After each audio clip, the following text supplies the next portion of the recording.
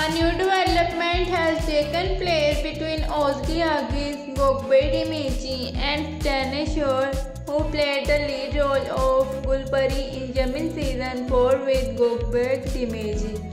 As Gökberk Demirci has already started the shooting of Üç Kız Kardeş and Setenay, who was the lead pair of Gökberk in Yemin series, has sent flowers to Gökberk Demirci as a gift just to show support for the new series and to wish good luck for the new project.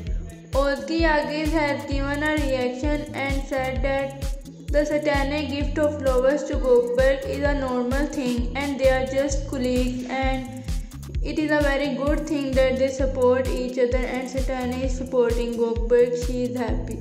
So Setenay sent gift to Gökberk Demirci and Özge has given a reaction.